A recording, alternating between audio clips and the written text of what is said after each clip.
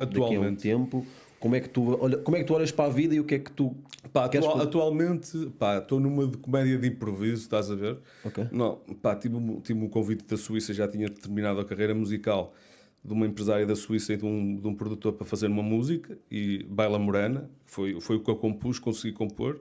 Está uma, uma música básica, mas acho que está a ser trabalhada na Suíça e acho que poderá ter, eventualmente, poderá bater nas pistas de dança. Mas já tinha desistido e essa, e essa amiga minha, empresária, pá, foi bacana, tipo, apoiou-me, deu-me força. O João Souza está-me a dar o super força, o Edu Silva, super força dos amigos dele, dão-me força também.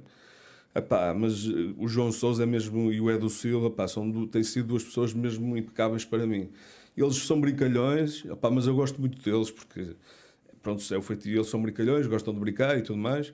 Eu também gosto de brincar. Epá, e, e- e o João Souza e o Edu Silva fazem-me lembrar quando eu tinha a idade deles, estás a ver? Que eu era assim, exatamente assim. Epá, e, e gosto muito deles mesmo.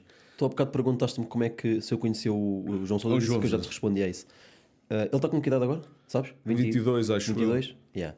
Eu conheci, o, eu conheci o, o, o João Souza, tinha ele. Ele devia ter pai que 11, 12. Ah, Acho que não estou a dizer nenhuma barbaridade. Mas foi quando ele basicamente entrou no YouTube, estás a ver? Ele começou a fazer vídeos, eu já fazia YouTube também naquela altura. E ele era um, ainda hoje é, um puto pequenininho, magrinho, e na altura ainda, ainda era mais. E o que eu achava piada é que ele fazia vídeos no quarto dele, de vlogs, com 11, 12, 13 anos no máximo. E eu achava que ele tinha um potencial. Aliás, eu cheguei a dizer-lhe na altura que ele ia acompanhar os meus vídeos, depois acabei por conhecê-lo também.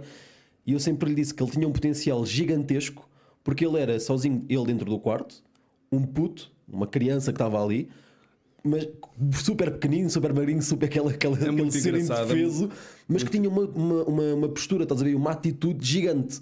Eu lembro perfeitamente dos primeiros vídeos que eu vi dele, que eu disse-lhe eu, eu disse mesmo, tu vais bater, tipo, e estava longe de pensar que era o nível que ele chegou hoje, estás a ver? Portanto, a falar de coisas tipo há 10 anos atrás, estás a ver? exatamente. Há 10 anos atrás nem dava para fazer uma projeção que hoje em dia dava para fazer vida de YouTube e de seres influencer. Não, é, não era isso. O meu bater que eu lhe dizia na altura era que ele ia ser um, um youtuber muito grande